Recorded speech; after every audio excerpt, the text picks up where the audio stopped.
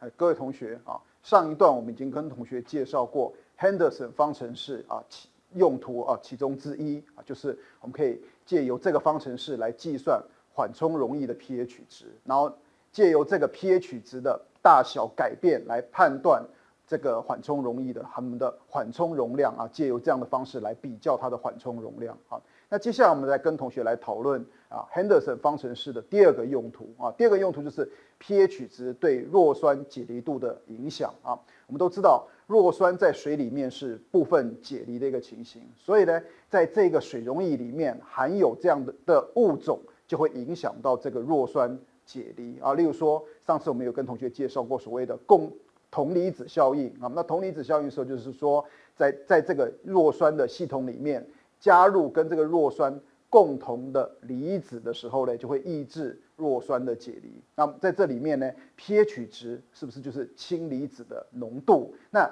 氢离子的浓度高低也会影响到弱酸的解离啊。那在这里面呢，那弱酸解离的这个量，那这个量呢，我们就可以借由 Henderson 这个方程式来做啊，来做判断啊，可以做一个量化的一个情形啊。那我们现在来假设。pH 值跟 pKa 相同相同相同的时候，就是说，意思说，弱酸在这一个已经一开始 pH 值就是一个啊一个定值的一个系统里面呢，那假设 pH 值等于 pKa 的时候呢，那这个时候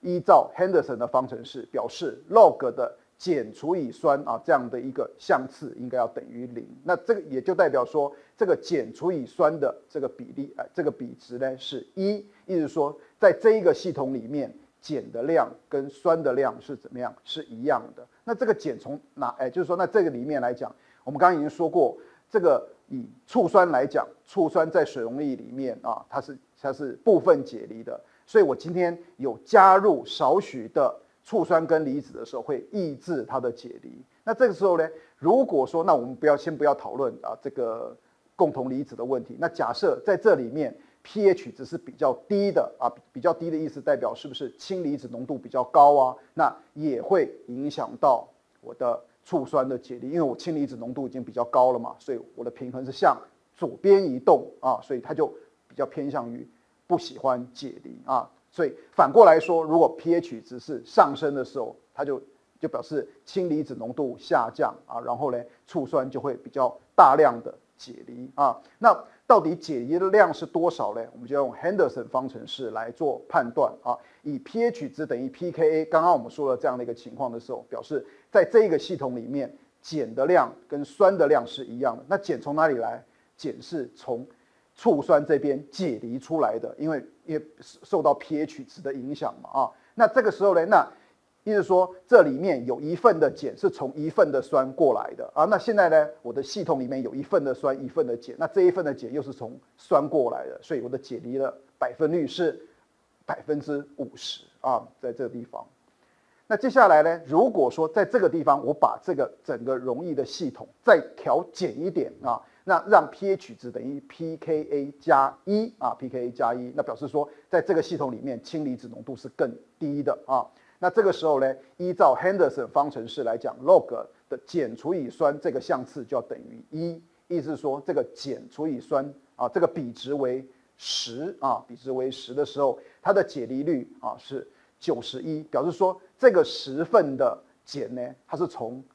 原来是酸的一个状况，可是因为我的 pH 值是比较高的，所以我倾向于解离比较多，所以变成比较多的碱啊，但表示说这十份的碱原来是从十份的酸过来的，所以原来应该有十一份的啊酸，可是有十份的酸已经解离了，所以是十除以十一，所以解离百分率是九十一个 percent 啊。那在这里面呢，不同的 pH 值弱酸的解离率呢就不一样。例如，你看可以从这张表啊，同学可以看到这个 pH 值呢啊是由上而下是怎么样，越来越小。表示它越来越酸啊，越来越酸的时候，那弱酸的解离呢就会越来越不喜欢，偏向于不喜欢解离。那我刚刚已经，呃，在这个这个说明来讲，已经跟同学介绍过，pK pH 值等于 pKa，或者是 pH 值等于 pKa 加一啊这样的一个情况。同学们可以试试看，说假设是 pH 值等于 pKa 减一啊或者是 pH 值等于 pKa 加二啊这样的一个情况的时候，解离率在这张表上面，那同学可以试试看，可不可以啊？可不可以用借由 Henderson 方程式把这个解离百分率计算出来？好，好，接下来呢，我们再跟同学介绍 Henderson 方程式的第三个用途。那第三个用途就是告诉我们哦，如何配置特定 pH 值的缓冲溶液啊？那就是，就是说，假设我有希望特配置特定 pH 值的缓冲溶液的时候，可以借由 Henderson 的方程式的写帮忙啊。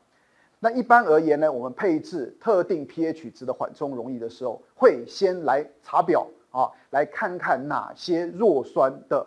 pKa 会接近这个 pH 值啊，然后呢，那接下来我们再来调整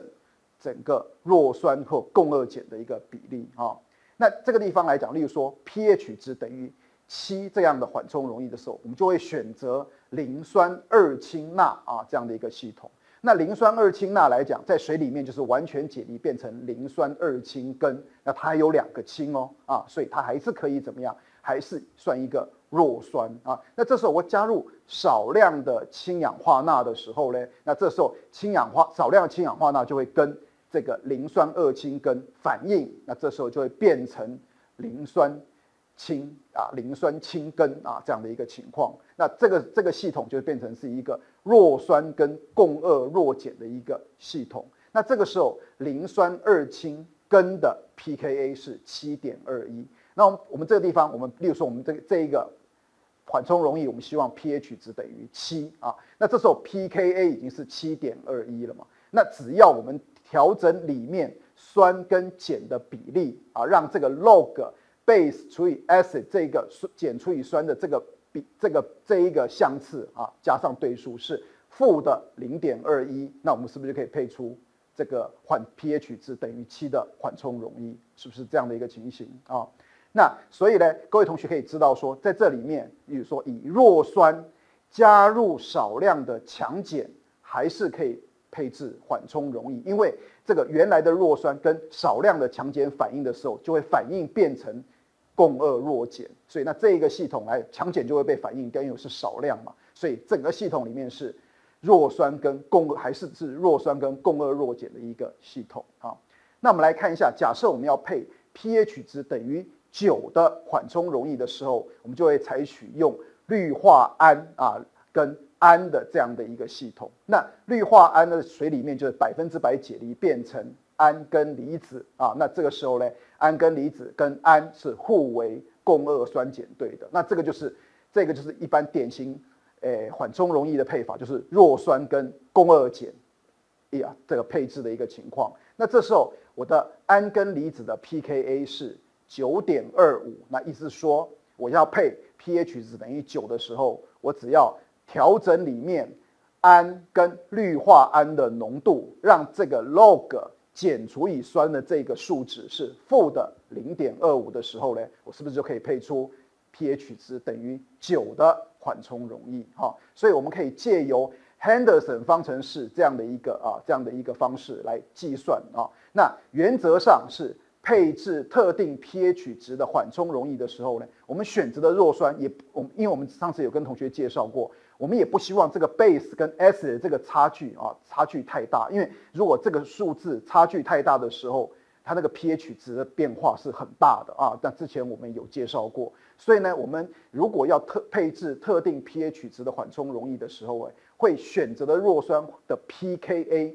会在 pH 值加减一的范围之间啊，用这以这个原则来选择适合的弱酸啊，这样子。好，那关于 Henderson 方程式的用途啊，有另外两个用途的时候，先跟同学介绍到这边。